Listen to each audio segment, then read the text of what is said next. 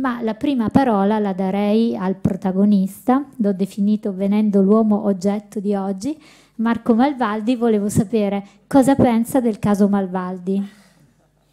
Allora, innanzitutto, salve a tutti, grazie di questo, di questo invito. E, e cosa penso del caso Malvaldi? Mm, io non lo so, uh, fondamentalmente quello che vi posso raccontare è qual è il mio punto di vista, cioè com'è che io mi sono ritrovato uh, in questo, uh, diciamo, su questa, su questa mh, piccola e, e, e, meravigliosa nave, perché è un qualcosa che ha anche a che fare proprio con quello che diceva prima Anna Rita, cioè il, eh, la filiera editoriale, perché diciamo, dal, dal, momento in cui nasco al momento in cui eh, diciamo, eh, comincia un pochino di successo, si vedono più o meno molti dei mestieri che, eh, che stanno dietro a un singolo libro. Io, come appunto, come è stato detto, io sono un chimico, sono laureato in chimica eh, e ho iniziato a scrivere appunto il, il primo libro eh, la briscola in cinque è nato durante eh, l'anno della tesi di laurea, che è un anno mm, buio, eh, eh, noioso e puzzolente, particolarmente per gli studenti di chimica, eh, questa è una verità. Quindi il primo, il primo, libro nasce appunto per tentare di non perdere i neuroni durante, durante la tesi e me ne scordo tranquillamente, viene messo lì da parte. Poi una serie di circostanze fortunate eh, mi portano a pensare che forse dentro quel libro potrebbe esserci, eh, potrebbe esserci qualcosa. Decido di prendere il manoscritto, mm, eh, appunto, prodotto qualche tempo prima e di mandarlo a qualche casa editrice e qui inizia il primo step. A quante case editrici si manda un manoscritto? A, tu, a quel, tutte quelle che ti vengono in mente. Io lo mando a 13 o 14 case editrici. Alla Sellerio non lo volevo mandare perché mi sembrava oggettivamente di mirare troppo in alto. Cioè, è la casa editrice di Camilleri. Casa... Allora, piccolo test. Quante case editrici mi hanno risposto? No, una. Una, la Sellerio. Per cui diciamo, il tempo di gestione di un manoscritto che arriva necessariamente gira intorno a un anno. Eh, un anno che eh, è abbastanza elastico e che, insomma, se uno di mestiere fa il lettore, può essere gestito anche professionalmente con una singola occhiata, perché mi viene spiegato contestualmente, i manoscritti che arrivano eh, non sono quasi mai terra di mezzo, cioè oggetto dignitoso.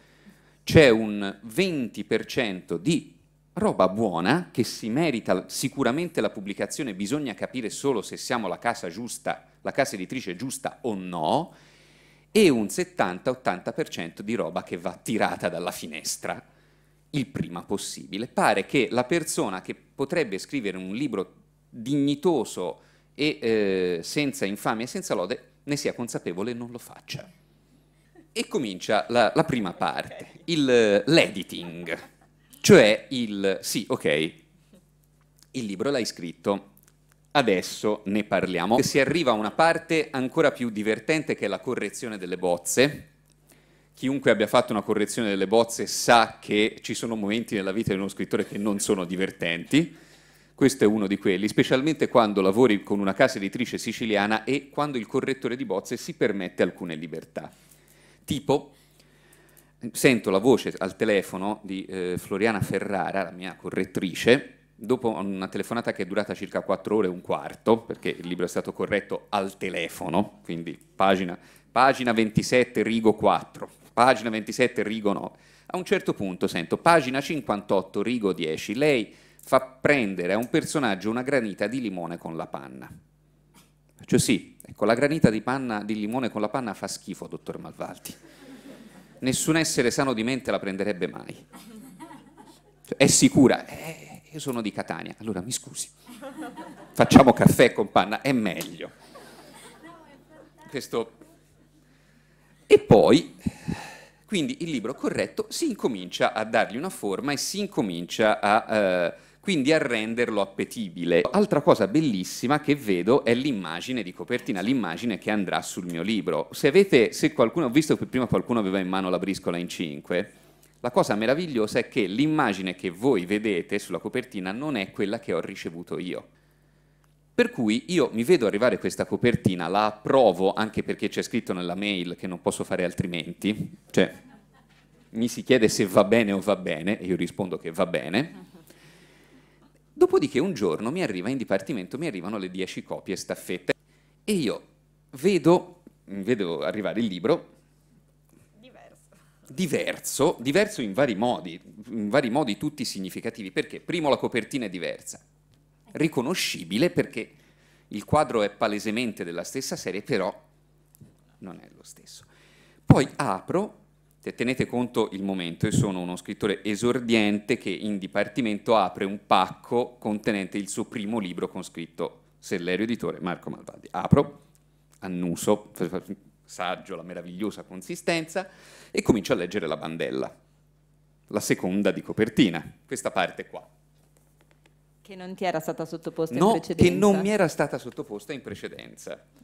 Che non mi era stata sottoposta in precedenza. E questo, questo, è un grosso errore che a volte si può fare. Nel mio caso ancora più grosso, perché? Perché io inizio a, re- a leggere La rivalsa dei pensionati. Siamo in un paesino della costa vicino a Livorno.